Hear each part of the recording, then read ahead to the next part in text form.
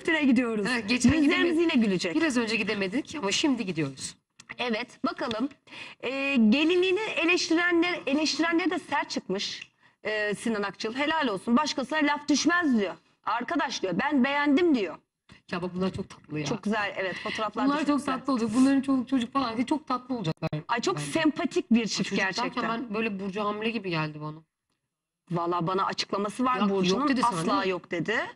Biliyorsun en son Ben de ailenizin şey jinekoloğu biliyorsun. Kenan Erçetin gözüne İnsanlar diyor ki hayır değiliz ben hayır hamile.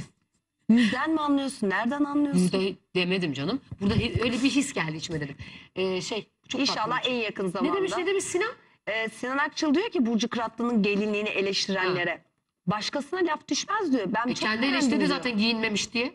Evet bir espri yaptı. Sen de ilk sene eleştirdin biz hepimiz ondan sonra yola çıktık ya. Evet Arkadaşım. Sinan gazoz verdin. Unuttuk sandın değil mi? Şş, orayı. Aa. Hayatta unutmadık. Giyinmemişsin dedin döndün kız arkanı döndün odadan çıktın. Ama bence yine tekrar söylüyorum Amsterdam ruhuna uygun bir gelinlik.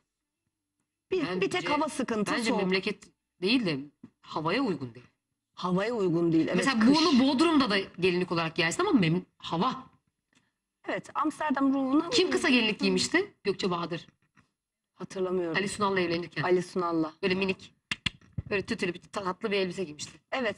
Bakalım bu çiftimizin düğünü de çok yakında. Burada e, tekrar e, gelin olacak. Başka bir gelinlik giyecek. Başka bir bu gelinlik sefer bütün giyecek, aileler aynısını katılacak. giyermiş. Aynısını giymez işte Gıcık bu sefer. Mesela aynısını giyer. Ha, Ben olsam- Siz mi laf söylediniz? Hadi ben bakalım olsam diye. giyerim biliyorsun. Ondan. Peki.